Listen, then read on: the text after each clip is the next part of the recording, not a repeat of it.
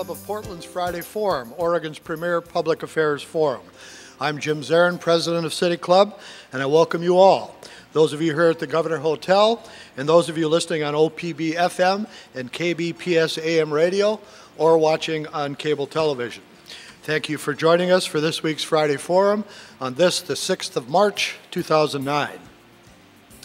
Today we will hear from three prominent Oregon judges who will discuss the changes and challenges affecting Oregon's courts. But before we begin our program, I have a few announcements. First, in consideration of those sitting close to you and those in our radio and television audiences, if you have not already done so, please silence your cell phones and any other devices that could make noise.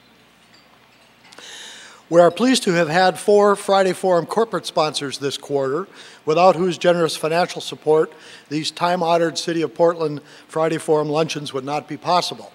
Our four corporate sponsors for this quarter have been The Standard, UBS, Gerding Edlen Development Company, and Pacific Power. Now, today is the last Friday of this City Club quarter, so let's give these four sponsors uh, our special appreciation. And if you or your company or agency would like to be a Friday Forum sponsor or a City Club Research Program sponsor, please talk to the club staff at the back of the room or call the City Club offices. You know, the fact is, City Club is not immune to the economic pressures we are all facing, and the organization needs sustaining sponsors like the four I just mentioned, and others providing continuing financial support in order to keep the kind of programming like these Friday forums that helps keep Portland Portland. And in this vein, please know that City Club's annual membership campaign kicks off this month. So, if you have been considering joining City Club but just haven't gotten around to doing it, this is a great time to join. And if you are a former member who has let your membership lapse, this is the time to do the right thing and renew.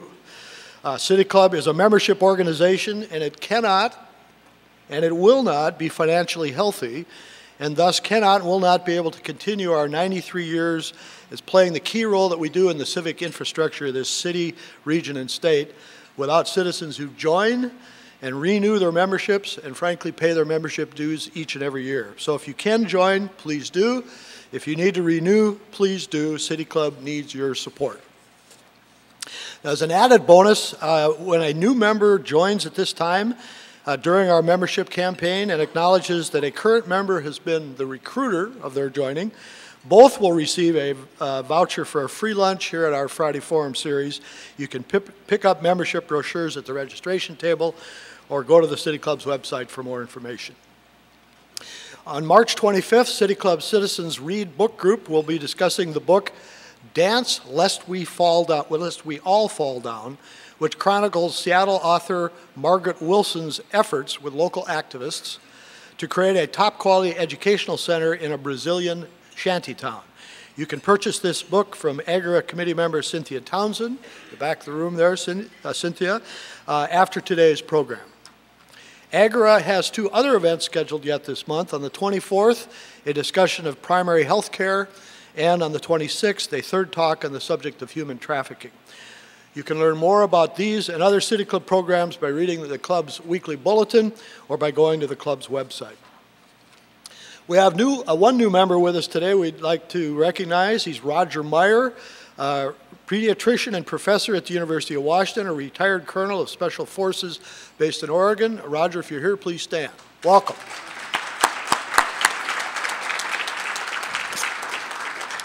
Uh, next week here at Friday Forum, City Club welcomes Dr. Mary King, who is a professor of economics at Portland State, who will address the idea of a sustainable New Deal as a significant policy response to the un unfolding global economic crisis. That's Dr. Mary King from PSU next Friday here at City Club's Friday Forum. and now to today's program. In the American political system, including here in Oregon, our courts play several essential roles. As a judicial system, our courts serve as a check and balance against the abuse of power by the other two branches of our government, the executive and legislative branches. In so doing, our courts protect against violations of citizens' basic rights by the government, including violation of rights of the minority by the majority. Our courts also interpret and clarify the meaning of statutes and ordinances and agency rules and regulations.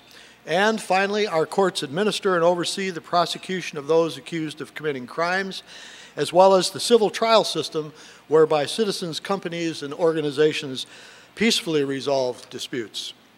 Now, given all of these critical roles played by our courts, it is very significant that Oregon's judi judicial system has undergone substantial changes and challenges in the last 10 years. The use of private, typically contract-based mediation and arbitration as alternatives to court trials has become widespread. There also now are special mental health courts and drug and alcohol diversion courts, as well as groundbreaking initiatives for at-risk populations such as foster children. At the same time, Oregon's courts have not been immune from the challenges posed by our state's budget shortfall. Indeed, far from it. Just last week, Oregon's Chief Justice Paul De Muniz, who spoke from this podium last year, announced that all state courts will close on Friday starting next Friday, March 13th, as a result of state budget cuts. And I want to mention, though, the Oregon head, head, Oregonian headline today says, Stimulus reserves and cuts fix budget. If uh, you turn inside, uh, you will see that uh, the details about our courts say state courts will close every Friday between March 13th and June 30th to save money. Court employees will be further furloughed during the closures. The closures will affect Circuit Court, Tax Court, the Court of Appeals, and the Supreme Court. So uh, the budget may be fixed, but it's not fixed as to our courts. and I'm sure we'll hear more about that today because we are pleased to have uh, th three uh, leading judges from our court system uh, who, by their uh, collective presence here, represent yet another change that's going on in our courts, which is the growing presence and leadership of women judges. Our first speaker is Judge Ellen Rosenblum of the Oregon Court of Appeals. Uh, before becoming a judge, Ellen Rosenblum was a lawyer in private practice in Eugene and then served eight years as a federal prosecutor in the U.S. Attorney's Office in Eugene and Portland.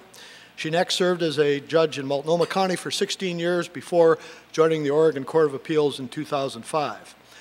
Uh, judge Rosenblum grew up primarily in Evanston, Illinois. She has a BA in, in, sociology from the University of Oregon and is a graduate of the University of Oregon School of Law. Our second speaker is uh, Judge Jean Maurer, and Judge, I want you to know the note said it rhymes with power. Uh, she is the presiding judge of Multnomah County Circuit Court. Before becoming a judge, Jean Maurer was a prosecutor in the district attorney's office of Marion County and later Multnomah County. She then entered private practice uh, and after eight years returned to being a prosecutor in Multnomah County. She was appointed a judge in Multnomah County in 1996, and in 2008, Judge Maurer became the first woman to serve as presiding judge of Multnomah County Circuit Court. Uh, she grew up in the small town of Hanford in the San Joaquin Valley in Central California, uh, received her BA in history at UC Berkeley, and is a graduate of Santa Clara Law School. Our final speaker is Judge Nan Waller, Chief Family Court Judge in Multnomah County. Before she became a judge, Nan Waller initially worked as a lawyer as, uh, in legal services in Montana and then uh, in the Metropolitan Public Defender's Office in Portland. She then became a half-time juvenile court referee in Multnomah County for 12 years until she was appointed a judge in Multnomah County Circuit Court in 2001. Judge Waller grew up in Portland, uh, graduate of Lincoln High School, for those who want to know. Received her BA in sociology, although she tells me it was more complicated than that, from Stanford, and also is a graduate of the University of Oregon School of Law. Now, our three guests will speak in the order in which I've introduced them. We have asked each of them to talk approximately 10 minutes for a total of 30 uh, with the idea that we'll have at least 15 minutes at the end for question and answers before we adjourn promptly at 1.15. So please give, uh, help me give a warm City Club welcome to all three of today's speakers, the first of whom will be the Honorable Judge Ellen Rosenblum.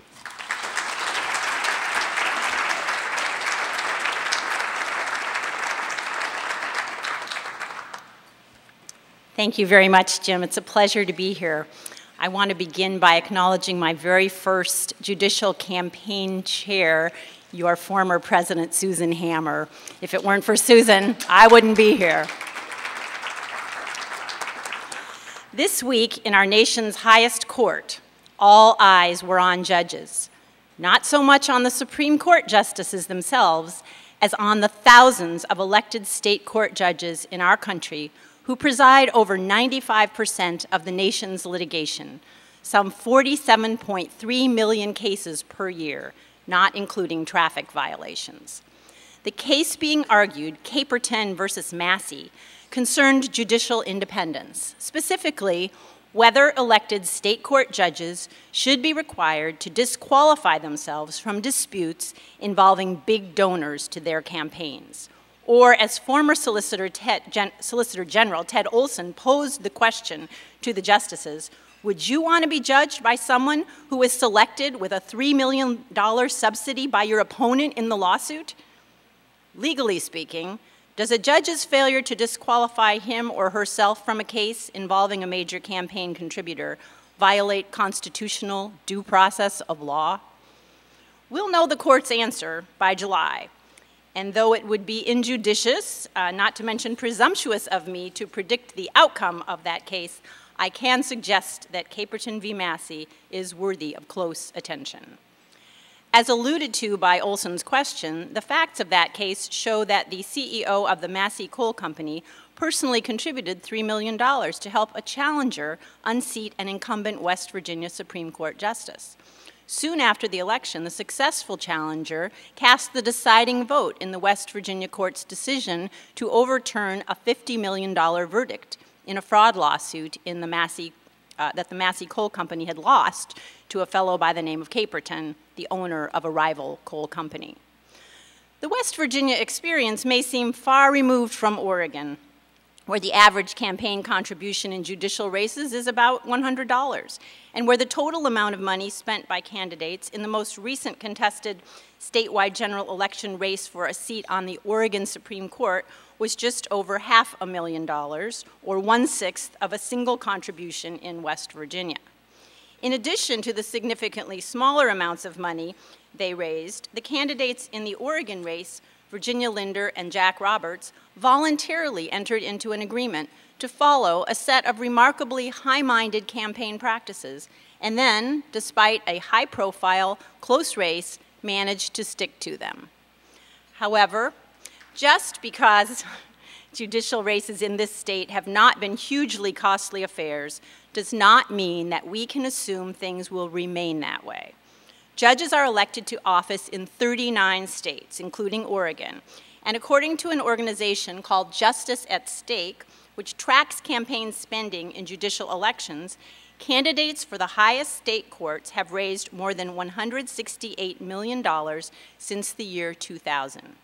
Currently in Wisconsin, a state one might argue has more similarities to Oregon than West Virginia, the Chief Justice of that state's Supreme Court has raised more than $1 million to spend in this spring's election.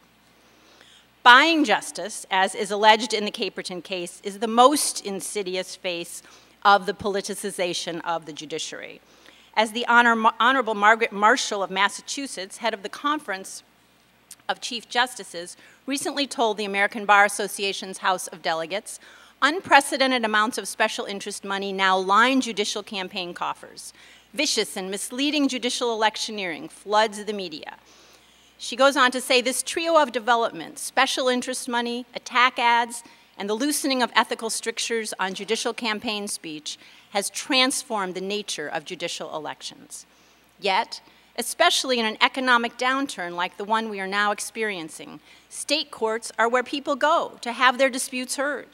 These disputes concern the most basic elements of their lives families and children, landlord tenant disagreements, workers' compensation issues, business dealings, land use, probate law, and personal injuries and other alleged wrongs.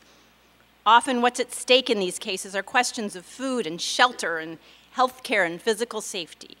How could there possibly be anything more essential to dispensing fair and impartial justice, a term I prefer, over the more lofty and sometimes misunderstood term judicial independence, than judges who are unbiased and open minded about the issues that come before them? At the same time, can citizens trust judges to be fair and open minded if they've been elected with large contributions from a few individuals or groups with clear interest in the outcome of those cases? Numerous studies have shown that even judges, as well as ordinary citizens, believe that campaign contributions, and not just $3 million contributions, influence judicial decisions. Well, I hope the Supreme Court will give us some helpful guidance on the interrelated subjects of due process and judicial bias when it decides Caperton. However, I say that with some degree of skepticism because, frankly, the U.S. Supreme Court's 2001 decision in a case called White versus Republican Party of Minnesota has opened a virtual Pandora's box, resulting in the loosening of campaign restrictions in many states. The White case found unconstitutional the so-called announce clause in Minnesota's judicial uh, code. Until it was invalidated, that provision prevented judicial candidates from announcing their views on disputed legal and political subjects during the course of a judicial campaign. I'm pleased to be able to tell you that here in Oregon, our judges have responded to the White case and anticipated the issue in the Massey case in several positive ways. First, by voluntarily and unanimously resolving two years ago at our annual judicial conference to affirm our commitment to nonpartisan judicial elections and to fair and dignified judicial campaigns, including provisions restricting our acceptance of campaign contributions in certain circumstances. Second, a committee that I've been asked to chair by Oregon's Chief Justice is currently working to ensure that our ethics code meets the constitutional standards set by the court in White. We will be recommending that Oregon maintain and clarify our rule that makes it unethical to make pledges, promises, or commitments that are inconsistent with the impartial performance of the adjudicative duties of judicial office.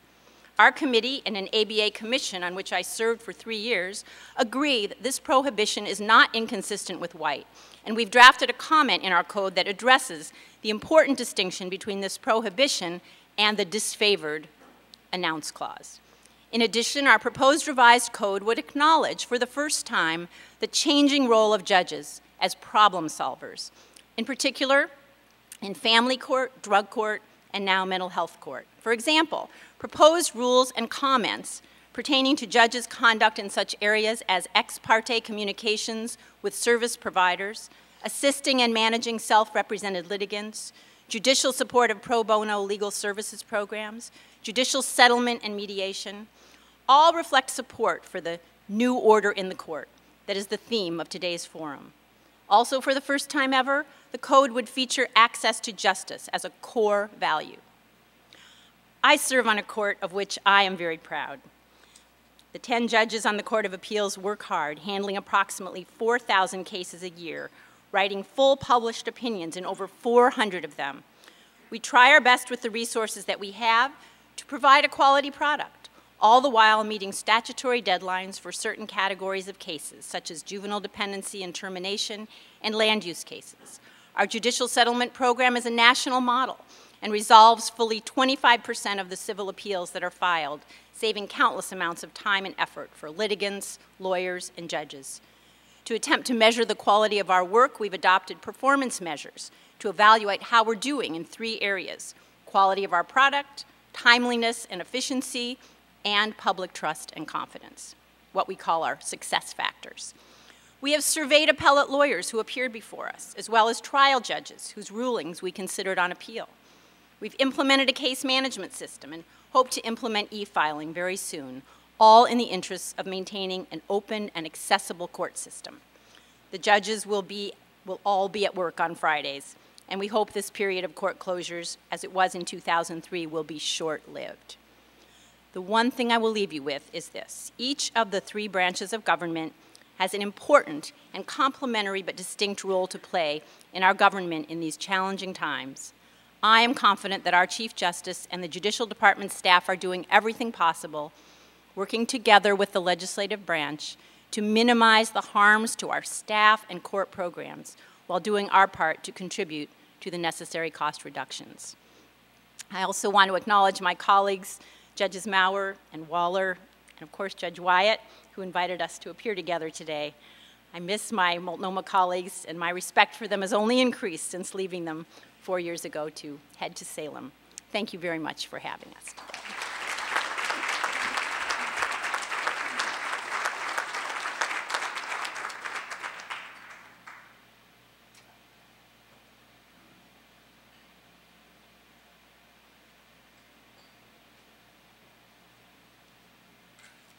Good afternoon. It's a pleasure to be here in front of the City Club, and I want to thank the membership for asking us to be here. I also want to thank my colleague, Judge Merri Souther Wyatt, for helping to arrange for today. I didn't know, frankly, when I arrived that I would actually match the color scheme, and so I'm also grateful for that. Um, it's interesting. I've been the presiding judge now for a year in Multnomah County. And I had hoped when I undertook this job that it would be interesting, and I can assure you that it has been. Um, but I must admit, the other day when I received an email from a friend with a twist on the proverb, may you not live in such interesting times, that sentiment resonated for me.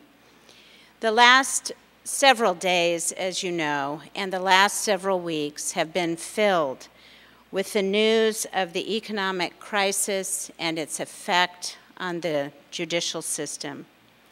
Court closures, staff pay cuts, threats of backlogged cases fill the news. And as I thought about my remarks today, I thought about what that will mean for the courts and how to approach it best in speaking to this group and to the broader audience that is listening by radio and watching on television. And so it occurred to me that before we can understand what we might lose, we first have to understand what we have. And so I want to spend a few minutes describing our court. Ours is a court that is uh, remarkable and it is remarkable in one respect that I want to talk about immediately. This topic was captured as Oregon's changing judiciary. And of course, that has many, many meanings. But perhaps the most obvious is that which you see when you arrive. So let me tell you what I mean by that. We have 38 elected judges in Multnomah County and I'm pleased to announce that fully one half are women. And I'm also pleased to announce that the leadership of our court is entirely women. It's a, a pretty remarkable um, event in our state's history and in our county's history. When I started uh, practicing law in 1974, there were very few women in the legal community and on the bench. In fact, in Multnomah County, there was only one woman judge, Judge Jean Lewis.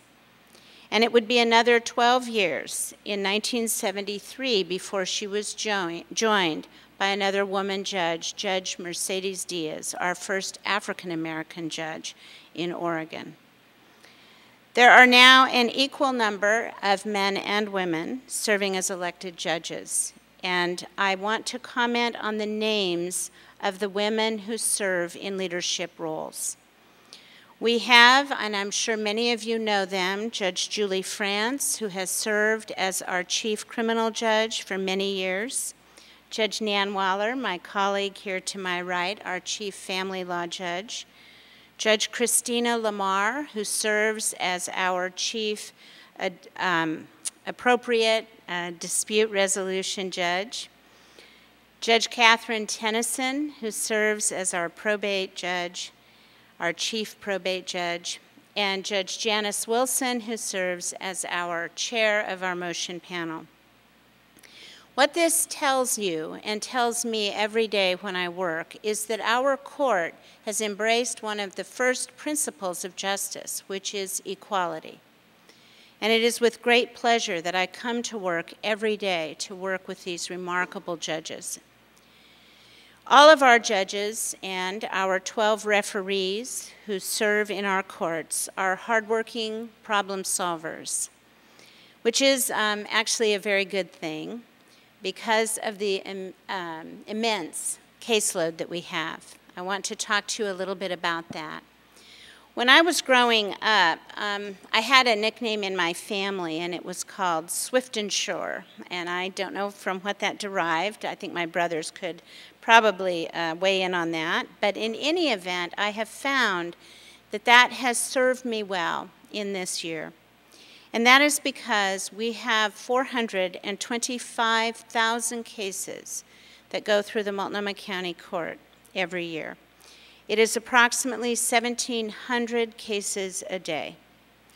The cases include, among many other things, parking tickets, traffic violations, small claims, landlord and tenant, complex personal injury, and commercial litigation, and criminal cases which range from low-level misdemeanors to aggravated murder cases with a possible sentence of death. I want to give you some more numbers. We have five court locations in Multnomah County. Some of you may have been in them. The most uh, familiar to many of you may be the one in downtown Portland, which is the Multnomah County Courthouse. We also have, however, the Juvenile Justice Center, the Gresham Annex, the Adult Justice Center, which is across the street uh, from the downtown courthouse, and the Judicial Dispute Resolution Center, which is next door to us in the uh, Portland building, which is where Judge Kristena LaMar has labored for years, helping bring resolution to cases that are proceeding through our courts in civil and in family law matters. The Circuit Court of Multnomah County differs from that of other counties as well because we are the municipal court for both Portland and for Gresham, the largest and the fourth largest cities in Oregon. We have a statewide caseload. For example, in Multnomah County are filed 47% of the personal injury and medical malpractice cases in the state one third of the wrongful death cases, and nearly one quarter of the contract actions. At the same time, because of case management systems that we have and because of the work of the judicial officers, out of the 425 cases, 425,000 cases that we have annually, we were able last year to close 412,000 cases, almost 1,600 a day. That doesn't happen easily. It happens because there are systems in place which um, make our court an efficient one. And we are one of the most efficient metropolitan courts in the nation. It's easy to forget, though, when you're looking at a court and you look at the headline grabbers, the big cases, that there are cases that matter to people every day in the small claims section of our court. These are cases where People come in unrepresented. The dollar amounts are not high. However, those cases matter a lot to each of the people. And last year, it fell to one judicial role to uh, manage 15,000 of those cases.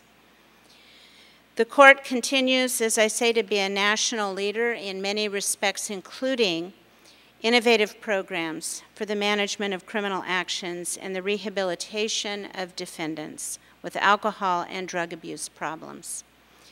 Known as problem solving courts, we have the DUI Intensive Supervision Court. We have as well what we call our stop court, which is our drug court. We have a mental health court.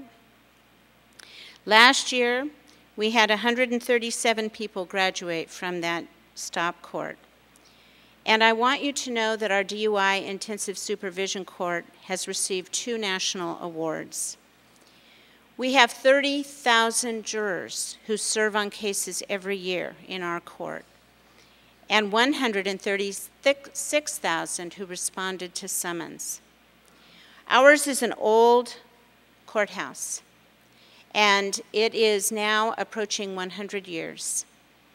I would like to uh, tell you that we have 600,000 people who come through its doors every day or every year. It sometimes feels like every day. and I want to invite all of you to come down. Everywhere I go, I ask people to come. I want you to come in the context of something other than a lawyer or a party. I want you to come down and see me and let me talk to you about the work that we do and to help you understand what the cuts that we are facing will mean. Thank you.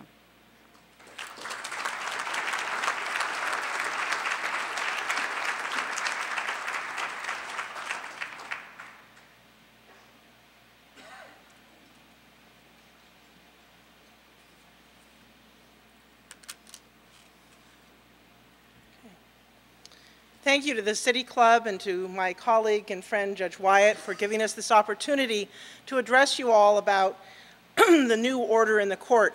I'm going to tell you a little bit about my own um, journey to the bench because I think that it illustrates how the new order in the court has changed the work of the court. There are moments in all of our lives that are of such significance that we hold them in complete visual clarity in our memory. The first time it was suggested to me that I could become a judge was one of those moments. I can still remember standing in my parents' kitchen at age 27, my cheeks burning, not because I felt that they were uh, recognizing my strengths and talents as a lawyer. Uh, I was two years out of law school at the time, but because I thought that they were, that was so audacious for them to suggest that I could be a judge. Because in my mind's eye, at age 27, a judge was a white-haired, black-robed man sitting on a bench, calling the balls and strikes in the drama that was playing out before him. Um, luckily for me, the role of a judge has changed. And as you've heard, part of that is the picture of who is a judge has changed as more women have risen to the bench. But there's another change that is also fundamental to why becoming a judge really became of interest to me. And that is the role of a judge is no longer simply the decider of those matters that come before the court, which is the traditional role, but the role has also changed to the non-traditional role of community convener, of problem solver, of leader of community efforts to make things better for those who come before the court as we try to resolve problems. Um, and it was really when I started practicing in juvenile court and then became a referee that I saw myself as, uh, I saw the bench as something that I should uh, aim for. In probably no other part of the court than juvenile court is that role, the non-traditional role of judge, more apparent. Juvenile courts are the original problem-solving courts in this country. Uh, in 1904, the first juvenile court in Oregon was created by the legislature. It was here in Multnomah County. Um, and at the time, one of the proponents of the uh, creation of a juvenile court noted that it is less costly and wiser to save a child than to punish a criminal. And that has been the underpinnings of juvenile court ever since. That we have an obligation for the children and families who come before the court to resolve the issues to make things better. Clearly, the nature of juvenile court work leads to the need to get off the bench and into the community to try to make things work better for families and children. We have responsibility in juvenile court for children who are removed and placed into foster care. We are under federal mandates and state mandates by law to try to swiftly uh, resolve the issues to return children to parents if at all possible, and if not, then to assure that they have a permanent placement within a reasonable period of time. When uh, resolution of the case cannot be completed by return of children to the care of parents, then we move to the very serious action of termination of their parental rights.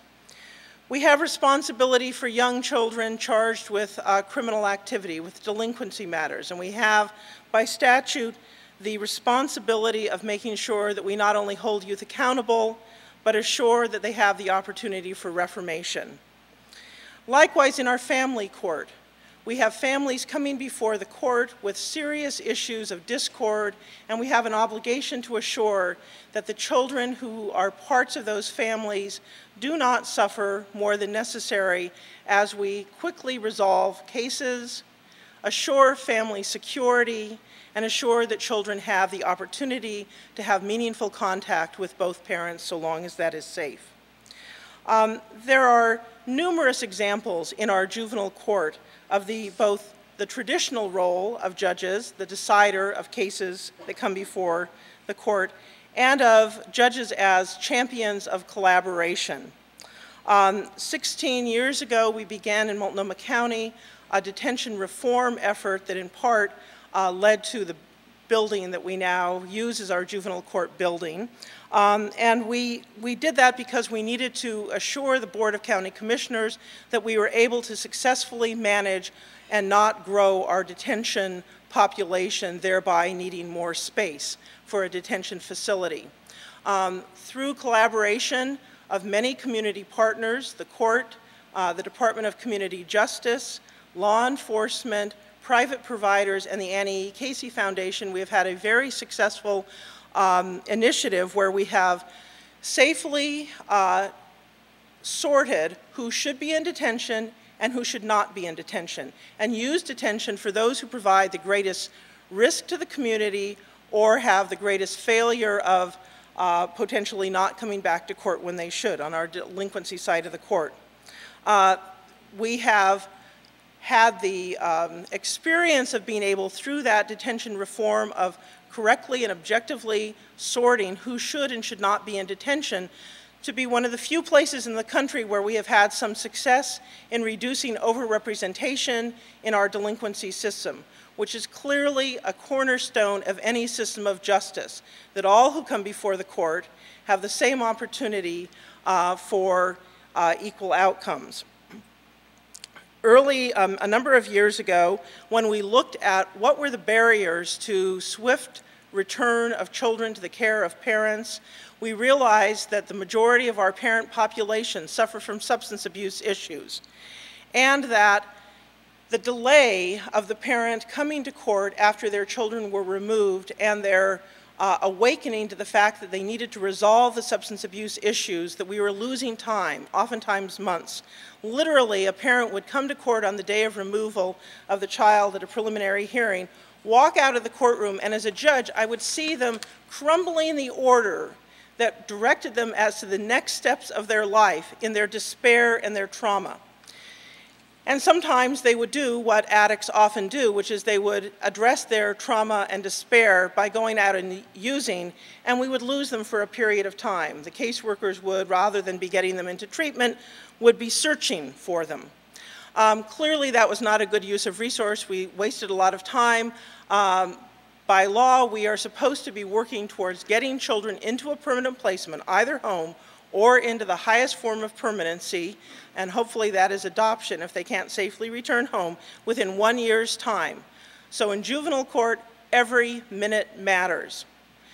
We resolve that by meeting again with our community partners and through uh, agreements with the Department of Human Services, through County uh, Drug and Alcohol, through private providers, Volunteers of America, we located at the juvenile court a drug and alcohol evaluator and someone who would assist parents in getting quickly to uh, treatment once they were uh, identified as having a problem. Now when a parent comes into court on day one, if they choose to, because it is pre-adjudication, they can set up an appointment immediately with a drug and alcohol uh, evaluator located in the courthouse and then be guided through the next steps. We realize that sometimes it is the little things that get in the way of progress on the part of a parent.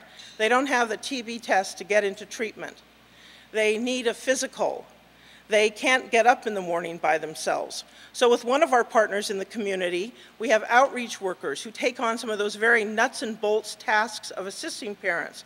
We have been able to greatly reduce the number of days it takes to get par parents who come before the court into treatment. And as a result, we have been able to um, have children return to parents on a much more timely basis.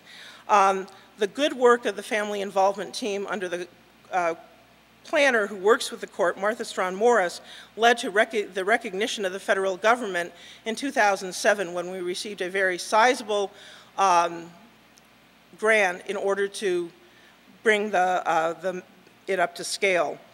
Um, we realized that children with significant mental health problems were creating a frustration to every single system that they uh, came into contact with. In schools, they were not doing well and they would often be kicked out. They would end up in uh, child welfare and foster care sometimes and would go from home to home to home to home. Um, they would not be able to develop therapeutic relationships because they were literally a rolling stone. Six years ago, a group of us came together and realized that this was not a good use of resources and that the outcomes for these children were abysmal. We would have some children who'd been in 40 foster homes, multiple schools, in and out of residential care, hospitals, and detention. And at the end of the day, after all of that disruption, we can all see what the results for a child would be. And the road for those children, too often than not, would be straight into, as they matured, into the adult criminal justice system. Um, we have a, all of those partners joined together. We now have a wraparound uh, model of providing uh, mental health services, services to children and their families. Again, our early evaluation is very positive, and the state is now working towards a statewide wraparound. There is legislation currently pending before uh, the legislature to help promote this. Uh, we are seeing children have much better success, stabilizing placement, slowing down the number of moves that they have, keeping them in school, and keeping them out of our delinquency system. Uh, our current initiative is one where we are hoping to take on the uh, overrepresentation of minority children in our child welfare system. Uh, again, as a matter of equity, it is important for courts to be involved and take the lead in this. So my hope, um, in terms of the new order of the court, that we will, despite the budget cuts, despite how grim things are, that we will be able to keep up these innovative and collaborative efforts with judges leading the way. Because without that, I fear that we will go back to some of the terrible outcomes for children and families that we've seen uh, previously. So I hope that we are able to keep up this work. Um, we know that we end up with better outcomes for children and families. We have similar results in our child support uh, court and in uh, our facilitator, facilitated uh, family law program. Um, and I too welcome, you're all welcome to come out to juvenile court in Oregon. Juvenile court is public, they are open hearings, and I think that you would be astounded by the miraculous changes that you see in families and children as they resolve the issues. Thank you.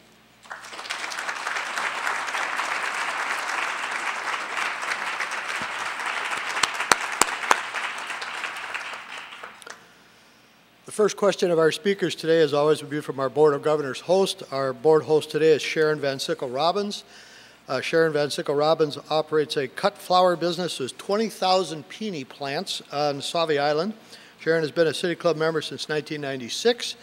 She chaired the club's executive director search committee last year, chaired the Portland Business Environment Research Study Committee that was approved here last fall.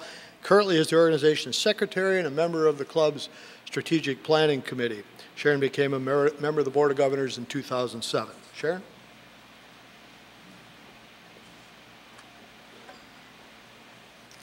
Well, I could think of a lot of questions that I wanted to ask, but one of the things we talked about uh, up at the lunch table uh, before we started the speaking was in 2003, you all had the experience of furloughs in the, in, unfortunately, not too distant past. And I just wanted to know if you could talk to the audience about what you see as potentially different about the experience of going into those furloughs this time around.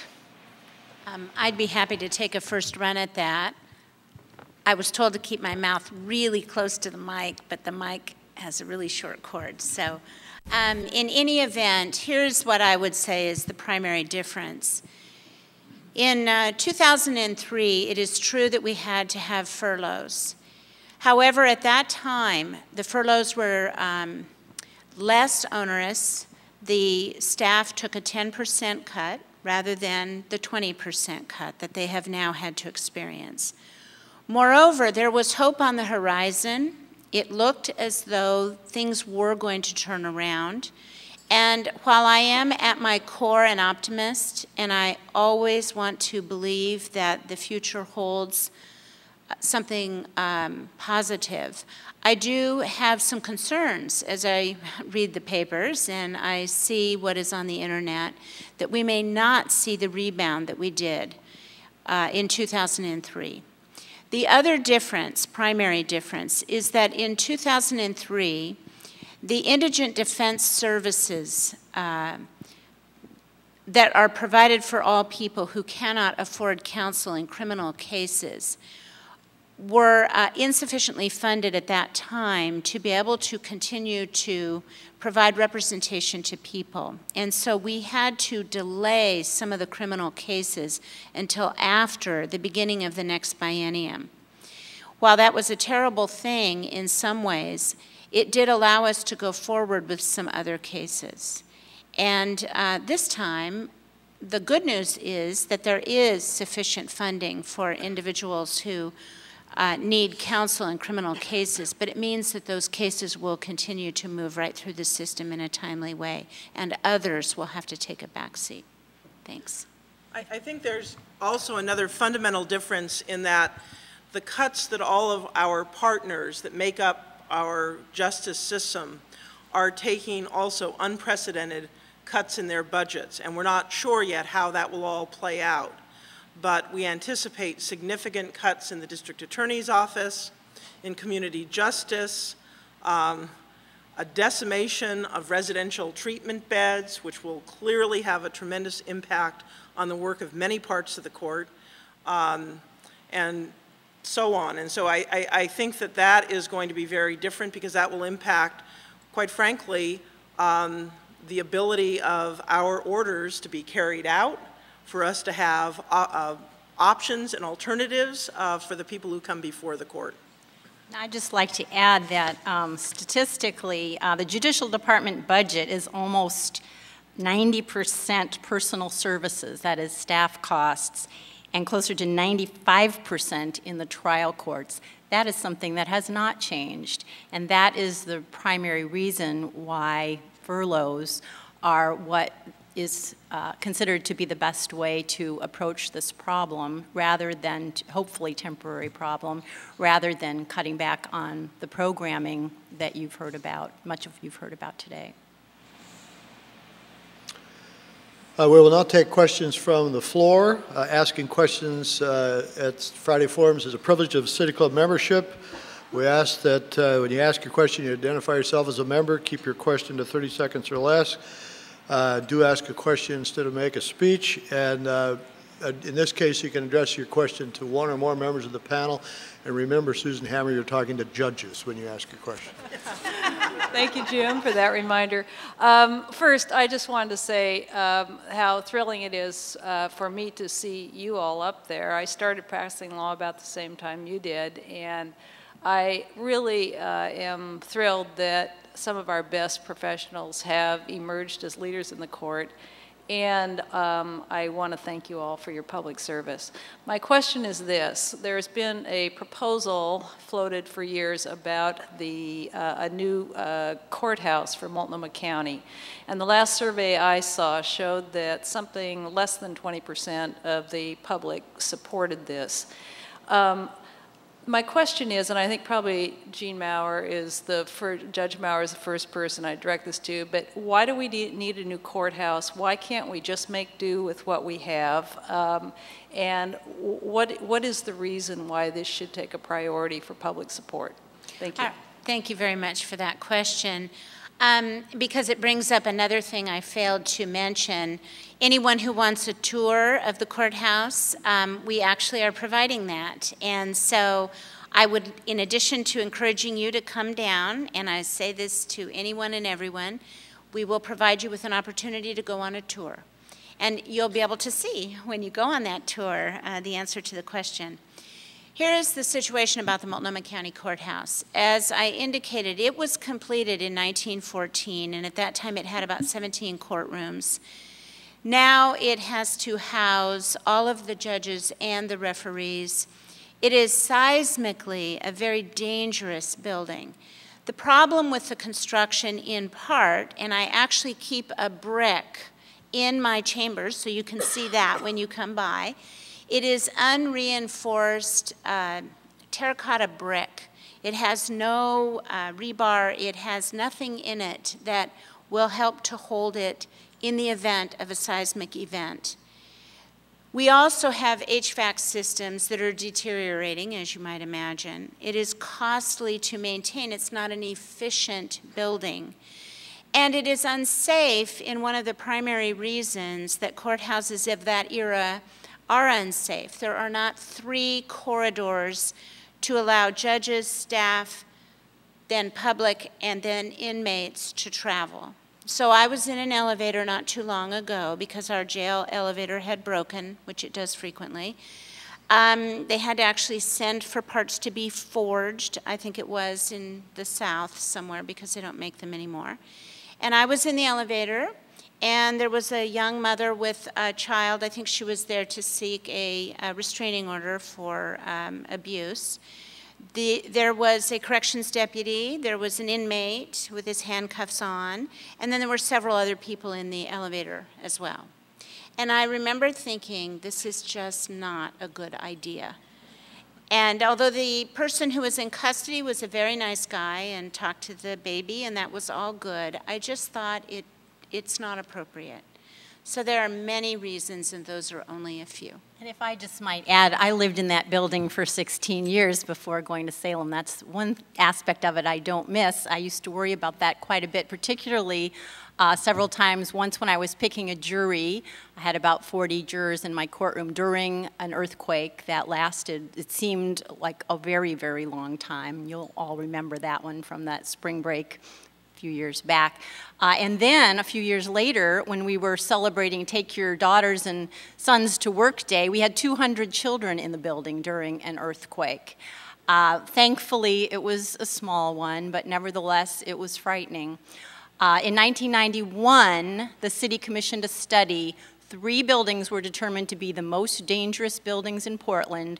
Those were the library, the city hall, and the courthouse. Two out of three have been fixed.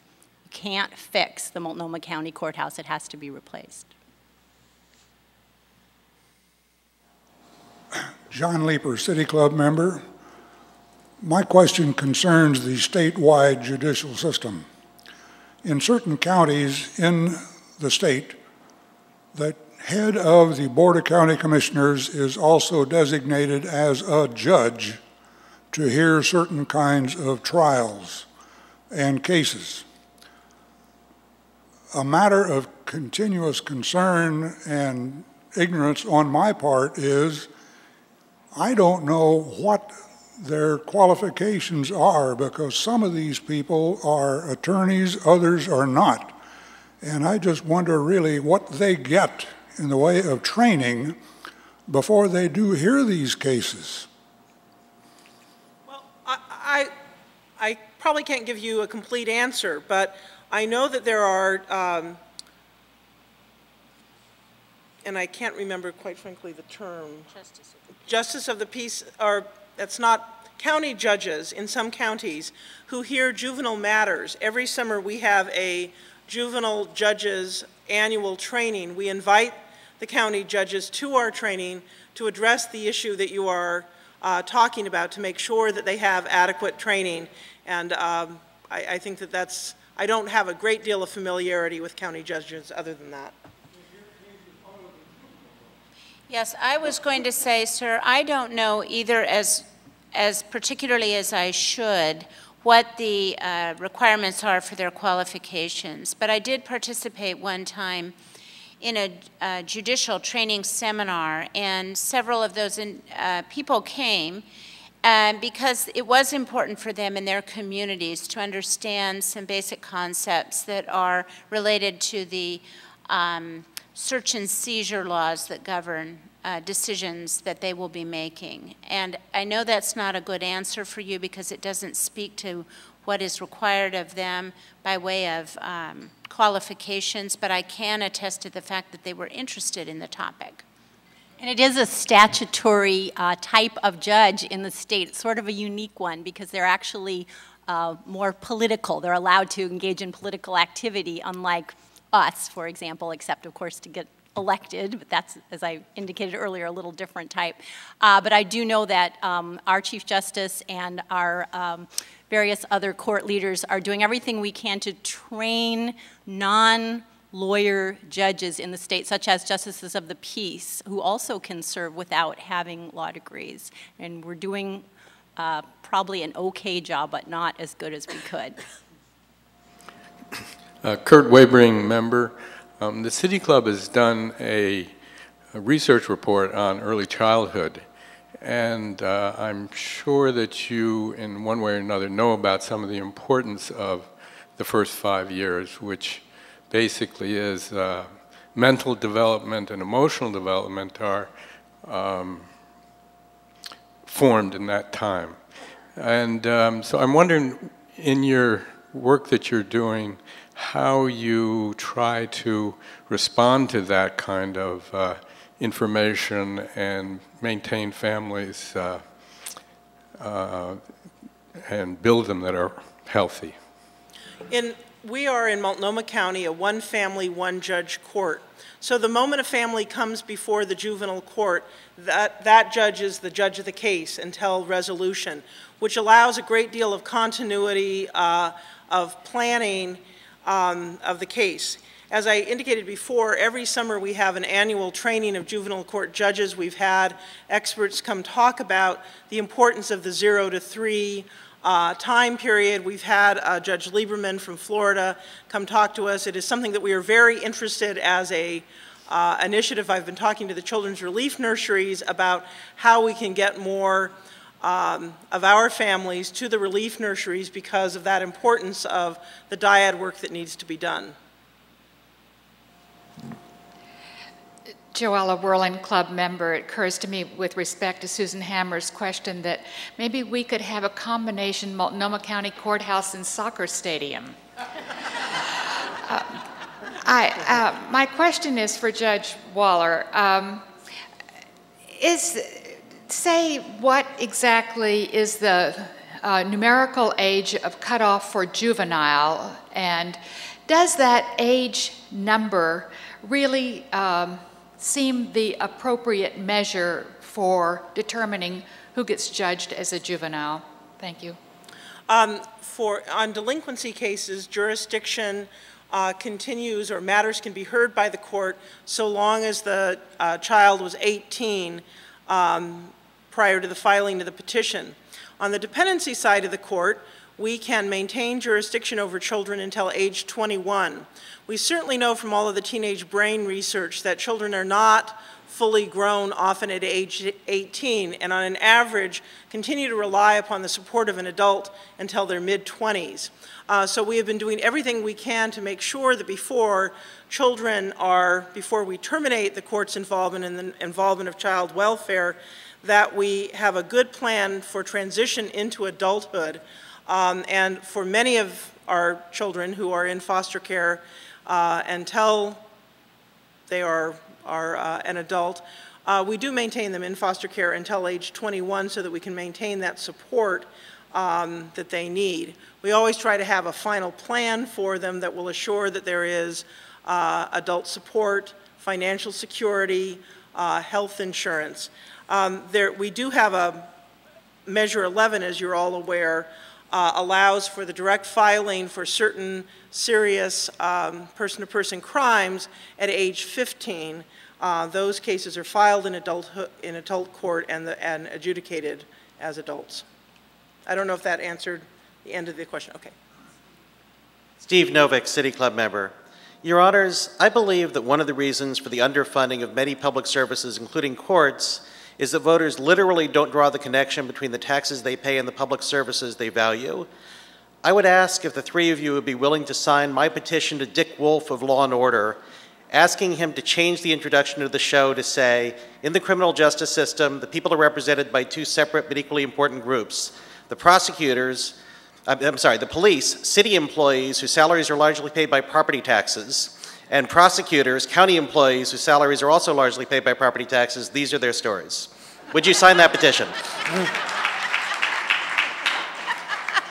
I think we'll have to get an ethics advisory opinion before we can tell you how we would uh, answer your question, uh, Mr. Novick, but it's a very uh, intriguing one.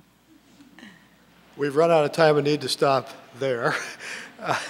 Uh, join us next uh, Friday here at Friday Forum for Dr. Mary King from PSU. Again, we'll talk about a sustainable New Deal. Uh, don't forget to consider buying a book for the Citizens Read Book Club from Cynthia in the back of the room. And as we close, please join me in expressing our appreciation to today's speakers. I trust all in the room are feeling like uh, these are at least three courts who are in very good hands. The Honorable Judges Ellen Rosenblum, Jean Maurer, and Nan Waller. We are adjourned. Thank you.